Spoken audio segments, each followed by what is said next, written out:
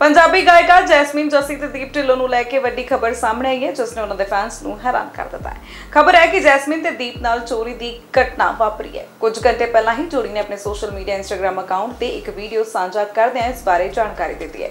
ਇਸ ਵੀਡੀਓ 'ਚ ਜੈਸਮੀਨ ਤੇ ਦੀਪ ਨੇ ਦੱਸਿਆ ਕਿ ਚੋਰਾਂ ਨੇ ਥੋੜੇ ਜਿਹੇ ਸਮਾਨ ਵਾਸਤੇ ਉਹਨਾਂ ਦੀ ਗੱਡੀ ਕਿਵੇਂ ਪੰਨ ਦਿੱਤੀ। ਹਾਲਾਂਕਿ ਕਾਰ ਵਿੱਚ ਬਹੁਤਾ ਸਮਾਨ ਨਹੀਂ ਸੀ। ਦੱਸਦੇ ਕਿ ਗਾਇਕ ਦੀਪ ਢਿੱਲੋਂ ਨੇ ਆਪਣੇ ਇੰਸਟਾਗ੍ਰam ਅਕਾਊਂਟ ਤੇ ਵੀਡੀਓ ਸਾਂਝੀ ਕਰਦਿਆਂ ਲਿਖਿਆ ਕਿ ਆਪਣੀ ਗੱਡੀ ਤੋੜ ਗਏ। ਇਹ ਹਾਦਸਾ ਉਸ ਵੇਲੇ ਵਾਪਰਿਆ ਜਦੋਂ ਦੀਪ ਢਿੱਲੋਂ ਬ੍ਰੈਂਪਟਨ 'ਚ ਗੱਡੀ ਰੋਕ ਕੇ ਗੁਰਦੁਆਰਾ ਸਾਹਿਬ 'ਚ ਮੱਥਾ ਟੇਕਣ ਗਏ ਸਨ।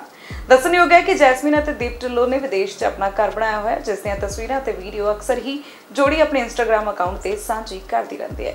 ਦੀਪ ਢਿੱਲੋਂ ਤੇ ਜੈਸਮੀਨ ਜੱਸੀ ਪਿਛਲੇ ਲੰਬੇ ਸਮੇਂ ਤੋਂ ਇੰਡਸਟਰੀ ਦੇ ਵਿੱਚ ਐਕਟਿਵ ਨੇ। ਇੱਕ ਤੋਂ ਬਾਅਦ ਇੱਕ ਕਈ ਹਿੱਟ ਗੀਤ ਜਿਹੜੇ ਹੈ ਜੋੜੀ ਨੇ ਦਰਸ਼ਕਾਂ ਨੂੰ ਦਿੱਤੇ ਨੇ।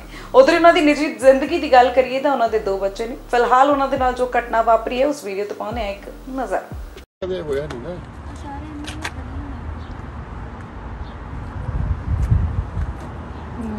ਬ੍ਰੈਂਪਟਨ ਚ ਹਾਲ ਦੇਖ ਲਓ ਚੋਰਾਂ ਦਾ ਚੋਰਾਂ ਦਾ ਨਹੀਂ ਗੱਡੀ ਦਾ ਦੇਖੋ ਗੱਡੀ ਦਾ ਤਾਂ ਦਿਖਦਾ ਹੀ ਪਿਆ